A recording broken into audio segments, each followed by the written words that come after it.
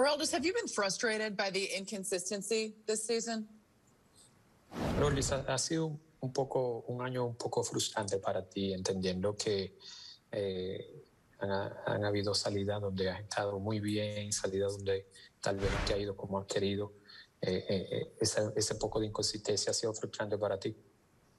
No, solamente he pasado mal momento y he tratado de salir de él.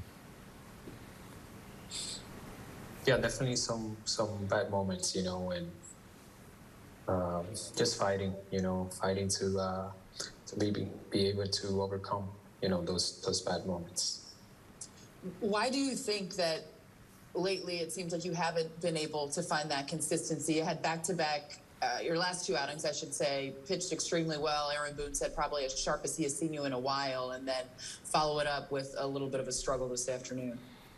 Como sabes, ¿verdad? Eh, específicamente el dirigente mencionó las últimas dos salidas tuyas fueron eh, muy buenas, eh, muy, muy eh, eficientes, eh, atacando los bateadores, eh, terminando esos innings. Y, y, hoy tal vez no te fue exactamente como tú querías. ha sido una batalla eso, tratar de encontrar esa consistencia que busca día por día. No, nada, solo, solamente hago, lo que hago es trabajar y prepararme y para mejorar cada día. I mean, you know, it's, it's just work, you know, you got to keep working at it.